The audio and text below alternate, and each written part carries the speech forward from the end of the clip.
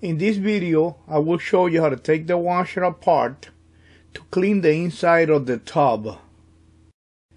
Disconnect the washer from the wall outlet and keep it disconnected.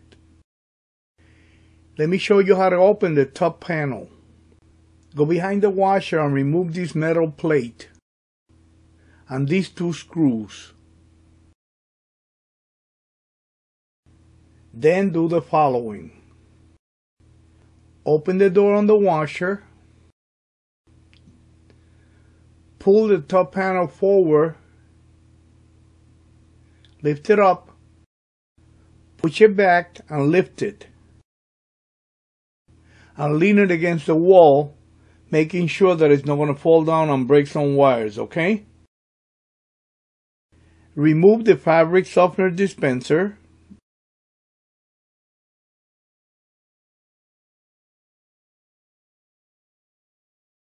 Remove the agitator dogs cover. You could use the needle nose pliers to remove it.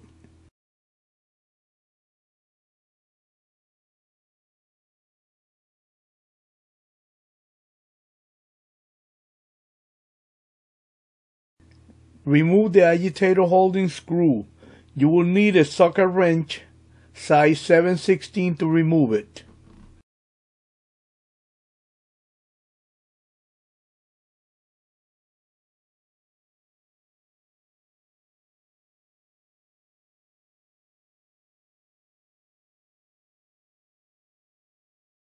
Grab the agitator from the bottom so it won't come apart when you pull it out. And take it out.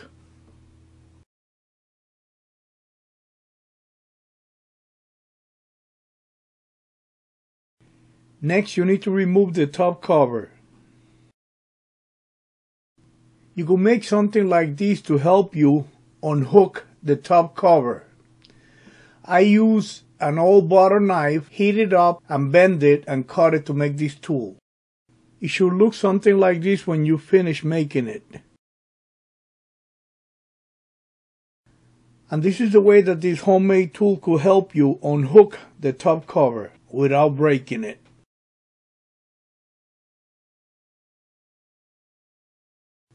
This is the way that the top cover snaps in place when you push it down. Now that you know how, go ahead and remove the top cover. Unhook all the holding tabs, being careful not to break any of the tabs.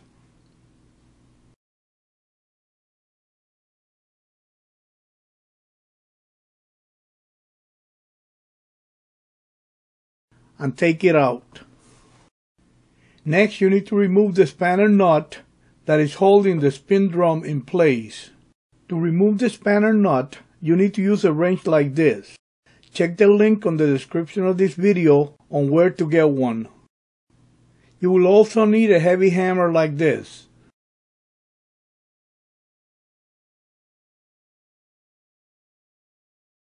Go ahead and remove the spanner nut.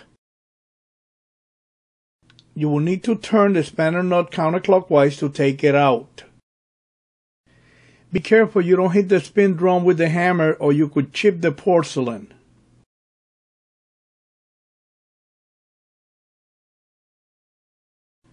Sometimes it could be hard to remove the spin drum, so you need to wiggle it side to side until you break it loose from the drive block.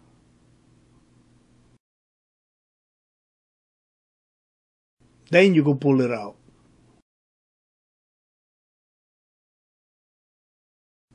Now you have access to clean the inside of the tub,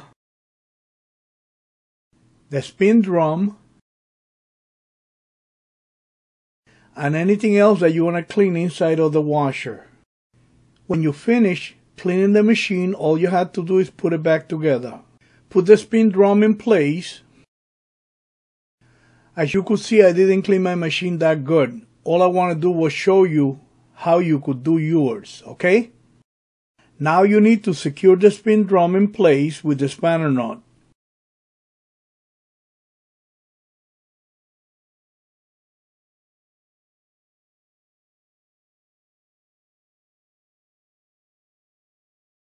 Hit the spanner wrench a couple times to tighten the spanner nut, but don't overdo it. Put the top cover in place and align it.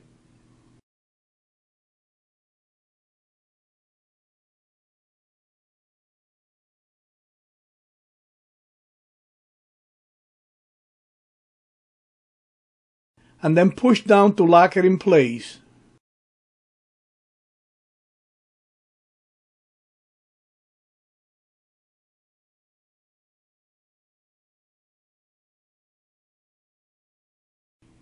Now you need to install the agitator. Put the agitator in place. Make sure you push it all the way in.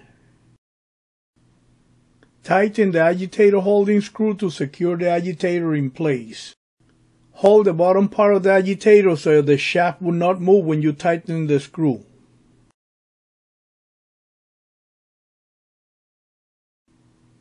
Next, you need to install the agitator dogs cover. Clean it real good and lubricate the rubber seal with dish detergent. Then put it in. Make sure that when you push it, it's seated in place. This way will prevent water from going into the agitator dogs and ruin them. Put the fabric softener dispenser in the agitator and push it down until it locks in place. Lower the top panel. Move it back and forward until it locks in place.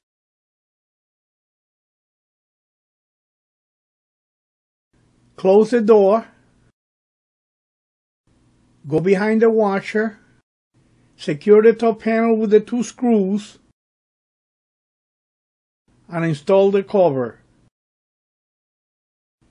Connect the washer to the wall outlet and you're done cleaning the inside of your washing machine. If you like to support this channel, you could use the PayPal me link in the description of the video. If you like to see more videos, click on the subscribe button. Thank you for watching. This is Angel the Appliance Man.